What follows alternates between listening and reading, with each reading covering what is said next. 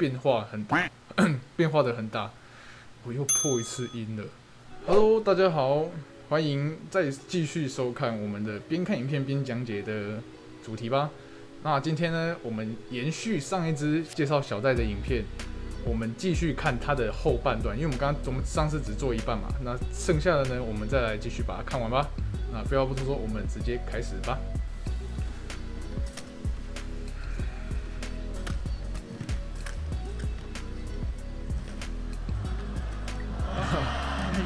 That. That's fantastic save by Tai Su Ying. 嗯，就是这样捞一下，刚那个就是小戴的球感很好啊，他这样子捞也捞得到。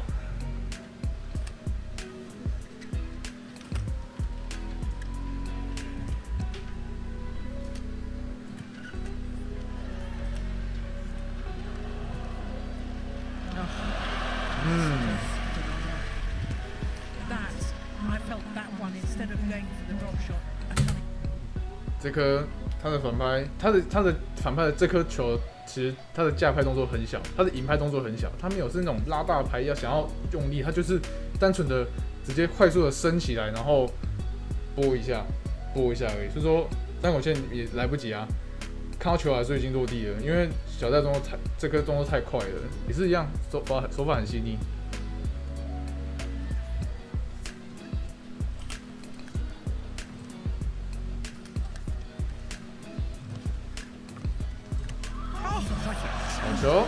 哇塞，这个这其实就是小戴抓到了啦。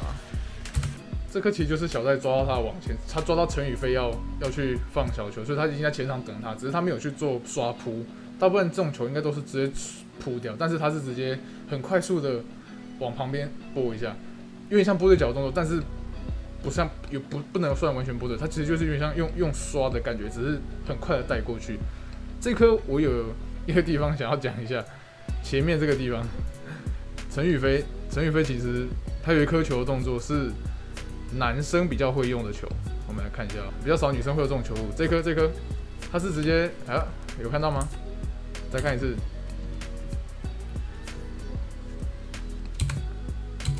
他是直接跟男他男生才会比较常用这种，女生很少，女生他女生很少在起跳跳起来突击的。邱元飞这个就是退到后场之后直接躬身起跳，做一个大对角的突击，这种球男生比较多，女生比较少，所以其实陈宇飞也是很厉害的。OK，我们继续看吧。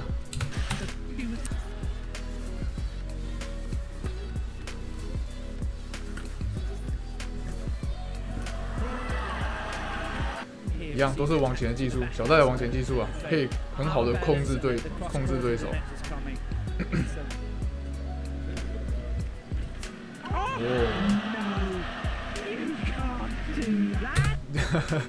我超喜欢这个旁白的，这个这个球评讲话很很有特色。这颗呢，怎么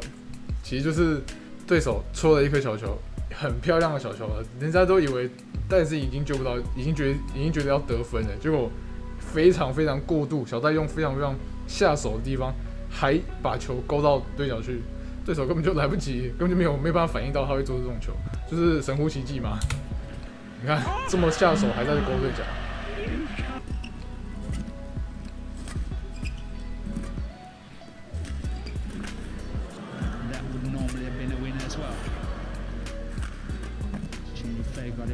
嗯，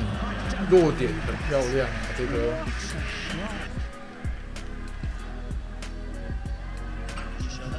有看到他的拍面吗？有看到小戴这个拍面吗？一颗突击之后，这颗，嗯，他就是一颗一第一颗是突击嘛，往前杀球嘛，再下一颗他是直接在有点像他那个其实有点像是有点像半勾的，有点带一点勾加切的感觉，就是有点像在上手很快的用手腕带一下，快速的切对角线。因为他那个是，其实看到他手是比较后面的，没有在前面，他是有点在后面，头的斜后方去做这个角度的，但是落点很漂亮、啊，很快速的突击，好球。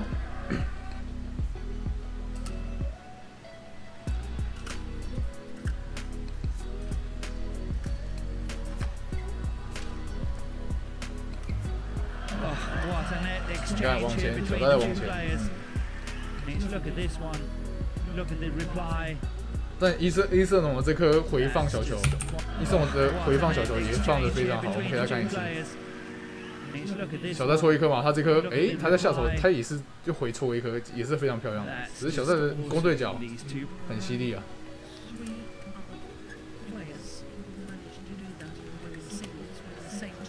哎，防守很好.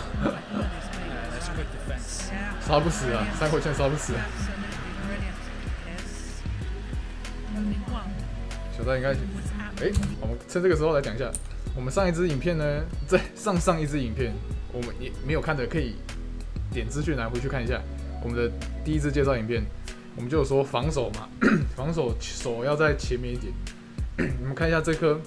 三口线在前面在压他的时候，小戴的防守可以仔细看一下，来哦，哎，你看这么这么快的三口线，这都已经在前场在压他了，小戴的手。看他的手跟离他的身体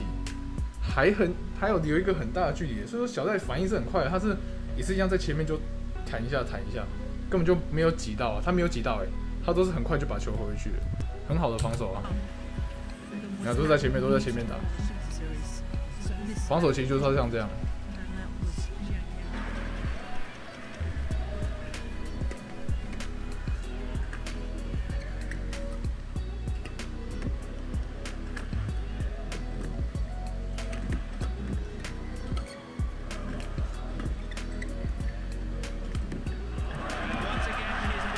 对手又对手又趴了，这颗小戴往前一样抢在上手，所以说对手不敢动，因为他的他的他的他的手法太细腻，所以说对手更更会更不敢动。那他突然的一颗